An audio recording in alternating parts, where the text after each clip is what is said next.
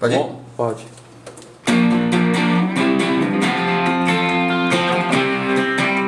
Eu vou dar o nome do negócio de Saigon Shade. Saigon Shade, a capa vai ser essa. Vai ser um fanzine. Vai ser feito que nem eu fazia a capa de demo lá na- no final da década de 90. Né? Vai ser tipo feito no Xerox. Sim. Né? Vai ser desse jeito. Vou botar as letras e pronto. Aí, no final das contas, eu tenho o encarte. Uma cópia é essa. Tem os adesivos. Tem o CD. E tem as coisas aqui que eu uso pra dar o. pra fechar pra galera. Aí, olha o tanto de tempo que demora pra copiar o disco. Quer dizer, é muito rápido. Enquanto, enquanto ele co coisa o disco, eu pego essa capinha e eu dobro ela.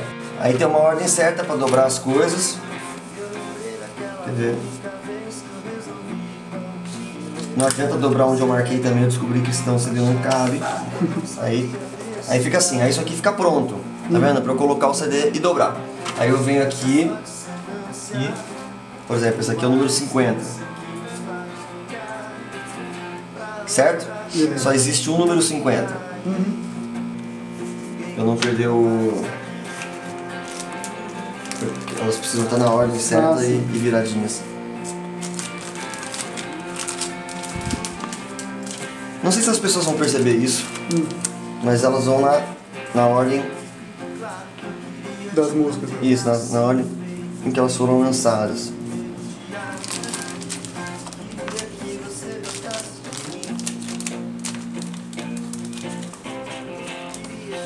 Pronto. Aí ó. Saigon. Shit. Número 50.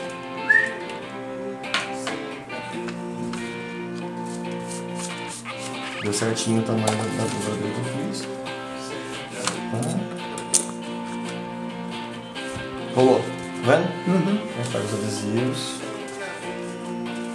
Todos eles são montados iguaizinhos. Uhum. Eu tento manter um padrão, né? De... Sim. Imagina.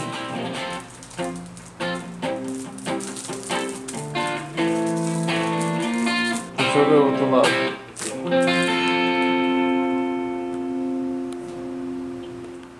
Bem punk.